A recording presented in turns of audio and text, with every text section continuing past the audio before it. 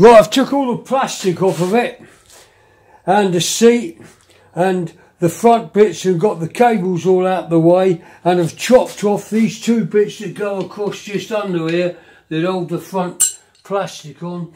You don't need them. The next job now is to take off the front axle and make it five inches wider, two and a half inches each side of box tubing, the same size as what the axle's made of.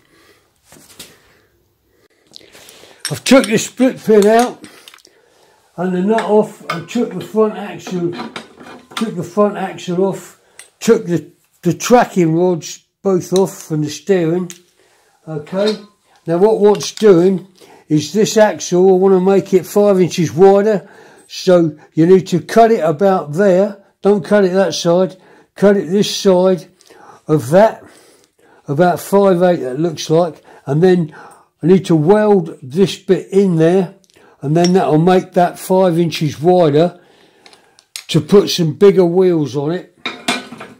And then obviously because I'm doing that this needs to be five inches longer. Now this is just eight mil bit of bar. I'm going to get a bit of stainless. I've got eight mil and make another one of these five five inches longer than that and then this one is because it's half of it that needs to be two and a half inches longer because you're putting two and a half inches in that side. Okay, that's what I need to do now. I've welded the front axle. I'm just waiting for the paint to dry on it because I'm giving it a couple of coats of spray paint. These back ends, they're designed to come off. You put take that pin out and it will pull off. On the other buggy I've made, I've just welded it as well because I don't want it to come off and got rid of the pin. Right, so now you don't need this bit um, on here. It's just to lift it up with. It's just like a handle. Um, that's no longer required. So I'm going to cut, take these two Allen key bolts out, take that off. Then I'm going to cut this off level with there so we can get the seat on lower. And then I'm going to cut through and take off these anti-tip wheels okay? I'm going to cut it off there. It's okay you can pull the pins out and pull them off but there's no point it's just extra weight I'm going to pull it off. Cut it off. I've cut off this bit okay to make it lower. This bit is just a handle anyway on them two bolts. Cut that off that's no good we're not using. These wheels on the back to stop it tipping backwards, I've cut them off from underneath. That's off there. And because there was a bit of movement, I have decided to weld it. So I've put a bit of this thin um, metal across in between there and I've got a nice weld on there. I've cut the top of the pin off and I've put a weld on the pin and I've adjusted these bolts so I've got no movement whatsoever because I can't stand imperfection in a way. This is how I'm making the spacers to go on the backs of the car so these kids can't roll the car. This is safety. It's not that much trouble and it's got to be done in a way. These are two tank cutters. This one's 89 mil, three and a half inch. This one's uh, three quarters, inch and three quarters, 44 millimeters. That's what I've used. I've cut out that, a couple of them. I've cut out four out of two mil aluminium. I've had to make the bigger, the middle slightly bigger because that's 44 mil and these Shoprider Shop rider axles. This is just a front one as an example. These are for the back of the car. And you've got to slightly make the inside bigger to get it to slide, slide onto there. Like that. And then that's the put, that'll make the back wheel, the back wheels of the car, so that you can't roll it and tip it. That's going to make the back of the car wheels apart that much that each side. After you've cut, after you've cut the hole out for the big wooden bit that goes in there, then obviously the smaller tank cutter is cut out the middle. Okay, that seems pretty simple. Then what I've got to do next now is because I'm making these ready for the back, to go on the back of this little buggy. What I've got to do is I need to drill these out. I've done these so that I can drill the M8 holes in between there. So I need to drill these so M8 bolts go through there. Okay, that's about it really. If this is slightly bigger. I think they're probably 8.5. These are slightly bigger than 8 mil. So I need to find a drill that fits in there tight so I can just put it in there and just mark the centres of where the holes are going to be so that that I don't get them out of line because that'll be disaster. If I do that, I'll end up making some again. Okay, I think that's enough for that. I'll drill them out in a minute.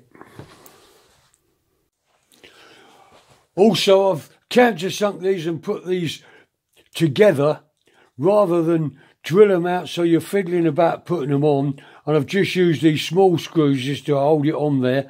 I've done them kind of opposite like that and then I'll drill in between that and then it'll be easy to just slip them on there.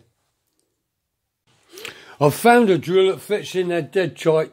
That must be, this must be an Imperial, Imperial drill that goes in there tight and then the M8 is looser. So I'm going to use that. I'm going to use that to get the centre. I'm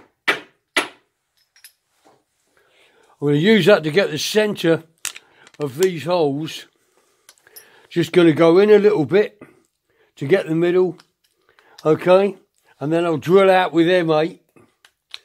And then I won't, they won't be tight fitting in there and I won't get them out of line.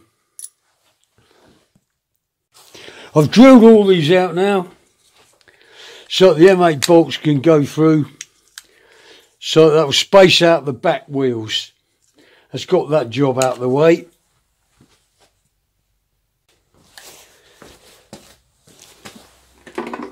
This is the new axle. I've welded two and a half inches there, two and a half inches there, and also I've welded a little bit there to stop the steering going round so far so there's less chance of these little daredevils going along and whopping it straight round trying to tip it over.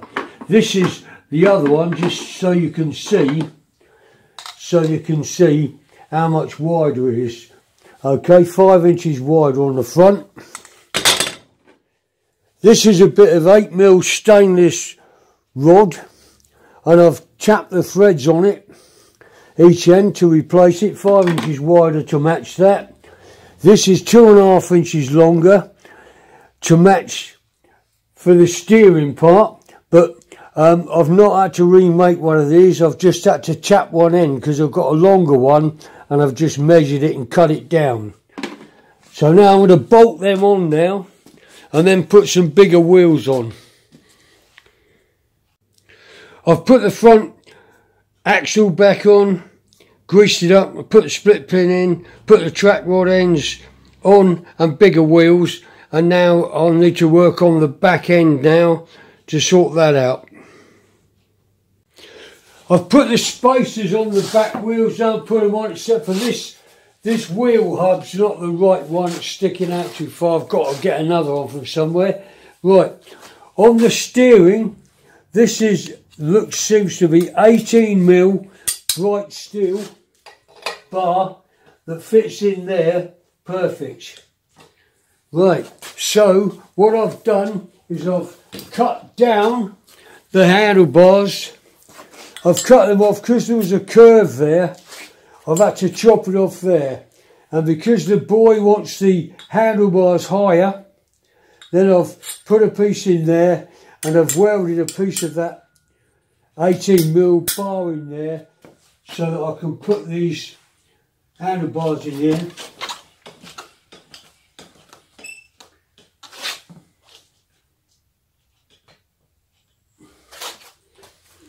I've obviously got to get these straight and then drill the two holes in there to fix that up and then obviously get some straight edges each side of there to make sure the tracking's slightly going in and not outwards.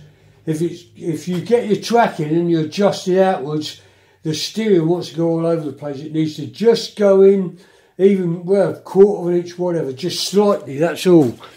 This is how you check your tracking to make sure it's going inwards and not outwards. At the moment, I've just clamped them straight edges on there, and this side is saying 25 and 3 sixteenths, and at the other end, we're talking just over 24, which means they need to slightly go out like that. So we need to just shorten this fraction by adjusting it. There is one other little job that needs doing before I reassemble this so I can go for a test run and that is the wheel when you turn is so close to the corner of that which is a bit dodgy. So what I've done on that other buggy is I've cut these down okay? You put a straight edge across there and cut them off two inches. Because if you're putting a body on there you need to go back that much and then allow three quarters of an inch because so you can glue a piece of wood on there so that you can um, fix fix your floor and that corner together. That's that's what I need to do. Chop off two inches right down each side. I've clamped a straight edge on there so it can be cut across there. These are Clarke's one mil cutting discs. They're about one pound and eightpence roughly for ten. Uh, about ten pound seventy nine uh, for a box of ten. I'm just going to act this off of here. It's always best to, it's always best and safer to wear goggles and a mask, but I'm not going to breathe this in, and this is what I'm doing. I'm just going to spin this off here.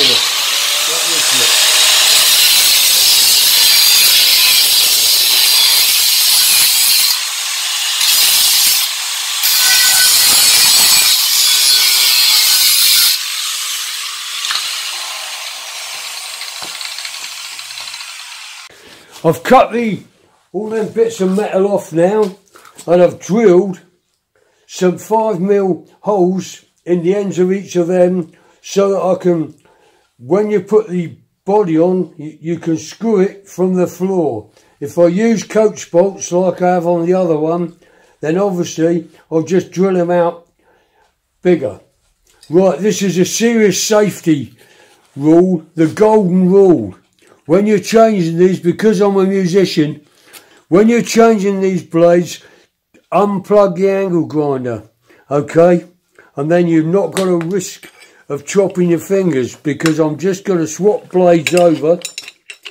I need to swap over the blades because I need to put a flap disc on to round off the edges, round off the edges on it. And that's a golden rule after these tools like that. Unplug the, unplug it because it, it, these things will take your fingers off. I had to go up the hospital once because I just touched one of these jumped on my hand and it just rips your skin off. Right, so we just swap blades. So don't want anyone to hurt themselves.